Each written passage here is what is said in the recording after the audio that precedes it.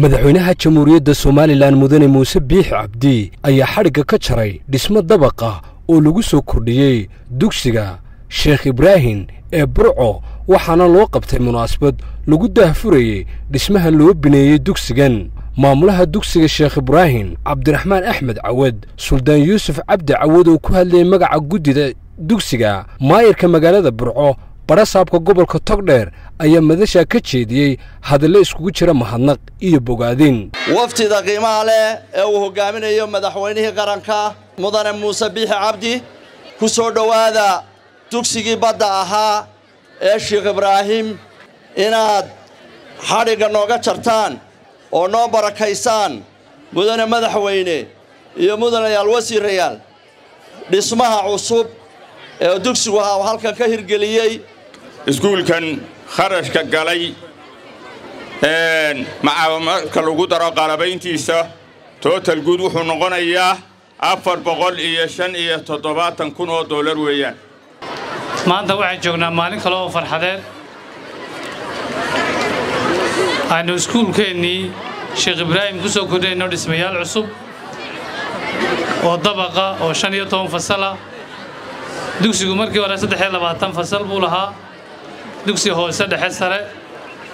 Dugsiga dawliga ee ugu ardayda badan le weeyaan sida wasaaradda waxbarashadu sheegtay dalka. Mudane madaxweyne aad iyo aad baannu kaaga mahad celinaynaa sida wanaagsan ee qiimaha leh ee qadarinta leh ee aad maanta xadhigga nooga jartay dugsiga sare ee sheekh ibraahim. Wasiirrada wasaaradaha biyaha cali xasan maxamed maalgashiga cabdi cismaan dhegaweyne iyo waxbarashada axmed maxamed toorno ayaa iska daba maray kobcinta aqoonta dadaallada ay gelisay xukuumaddu.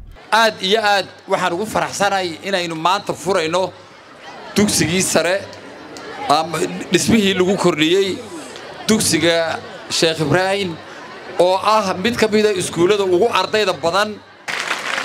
Iskuulkan markaay dadku wax wada qabsadaan wixii inoo muujinayaa midha dhalka ka soo baxaya. Ardaydan quruxda badan meel layse soo taago laga hadlo oo ubaxaasu kaa soo hor jeedo waa runtii farxad weyn. Xagga waxbarashadana marka la eego kolley gawaarka iyo marka la eego gareedhada safka horea ku jirteen. Iskuulkiinna waa ballaadhay. Fooqyo waaweyn buu yeeshay. Iskuul qurux badan buu noqday. Runtii aad iyo aad bay farxad u tahay. In dugsi dawladdu ay gacanta ku hayso tiro shan kun oo arday ay dhiganayso dee anu burcaan ku arkay. Aad iyo aad baanan ugu hambalyaynayaa maamulka iyo macallimiinta iskoolka mudane muuse biixi cabdi madaxweynaha jamhuuriyadda somalilan ayaa bogaadiyey ardayda dugsiga sheekh ibraahim burco waxaanu u jeediyey hadallo dardaaran iyo waane iskugu jira. Aad iyo aad bay dhallinyaradu mahadsan yihiin. Waa idinka mahadnaqaynaa farxadda iyo soo dhoweynta? Maanta waa maalin malaha qolayadanna aad iyo aad farxad ugu ah. Intaa idinku farxaysaan dhallinyarada in lag baan ana farxaansanna iyo lixdan sannadood ka hor. Anoo da'dii naasa ayaa waxaa noo yimid maxamed xaaji ibraahim cigaal allah u naxariistee oo ra'iisul wasaaraha dalkii soomaaliya odhan jiray. Intii aanu afweyne dhulka qabsanba hadalladii uu yidhi kuwa maanta laydin leeyahay oo kaluun bay ahaayeen uwaxii soo korayaa tihiin berritaa noqon doontaan dhakhtarro injineero iyo madax iyo madaxweynayaal.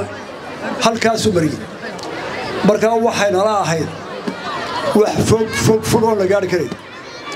Laakiin alla wuxuu qadaray inaanu madaxweyne iyo wasiirso noqonno marka haddii alla idhaahdo waxaa laga yaabaa qaar ka mid ahba inaynu isku soo gaadhne haddii laydidhaahdo mustaqbalka waxaasaa noqonaysaan iyo halkaasaa gaadhaysaan wax weyn hamoodina u haraagsanina mustaqbal wanaagsan baan idiin rajaynaya aad iyo aad baan idinku ducaynaya horta ducaaba naga helaysaa saaka.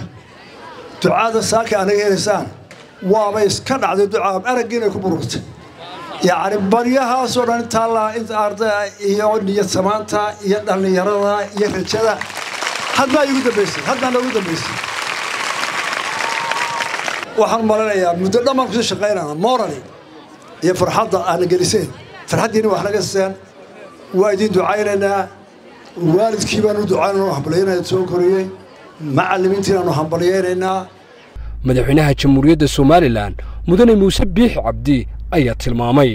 Nolosha waxaa ku qaabishaan laba qodob. Alla ka cabsi iyo kalsooni inaad wax walba qaban karto. Indhihiinna iyo dhegihiinnaba waxaa ku soo dhacaya oo arkaysaa wax badan badan oon diinteennana ku jirin dhaqankeennana ku jirin. Oo shayddaanku wato sharkuna khayrka wuu ka dheereeyaa inta badan. Marka dambe u jawaaye. Marka waxaan leeyahay oon aad ku dardaarayaa inaad horta marka hore alla ka cabsiga xajisataan mar labaadkana aad aamintaan inaad qaban karto wax kasta oo qof bini'aadmi qaban karo. Sababtoo ah ka dayaxa tegey ee ka soo noqday. Qof kasta oo wax mucjisaa qabtay ka maskaxda qala ka wadnaha qala ka ummadda dhan hogaamiya isku midun baynu nahay sagaal bilood buu ku dhashay sagaal bilood buu iyaad ku dhalatay. Madaxweynaha jamhuuriyadda somalilan mudane muuse biixi cabdi ayaa shahaado sharafyo guddoonsiiyey shirkadaha iyo shakhsiyaadka gacanta ka geystay dhismaha dabaqa ah ee loo bineeyey dugsiga sheekh ibraahim ee magaalada burco. Madaxweynaha jamhuuriyadda somalilan mudane muuse biixi cabdi geesta kale waxa uu xadhigga ka jaray shaybaadh dhammaystiran ee c t iskaanka cusub ee cisbitaalka magaalada burco oo dabooli doona baahi badan oo dhinaca caafimaadka ah oo gobollada beri taallay. Waxaanu madaxweynuhu dhagax dhigay dhismayaal lagu soo kordhiyey cisbitaalka. Waxaanu madaxweynuhu kormeeray qaybaha kala duwan ee cisbitaalka burco oo xog ay ka siiyeen adeegayaasha hawsha caafimaadka gacanta ku haya. Madaxweynaha jamhuuriyadda somalilan mudane muuse biixi cabdi ayaa booqday barasaabka gobolka sool oo xaalad caafimaad loogu dabiibayo cisbitaalka magaalada burco kadib markii uu shil gaadhi galay waxaa kaleoo madaxweynuhu booqday oo mid mid u dul istaagay ciidanka lagu dabiibayo cisbitaalka magaalada burco ee ku soo dhaawacmay dagaalada gobolka sool isagoo madaxweynuhu u kuurgalay xaaladdooda caafimaad islamarkaana xugugaal u noqday. Ridwaan caydiid ismaaciil akiid warbaahinta qaranka jamhuuriyadda somalilan magaalada burco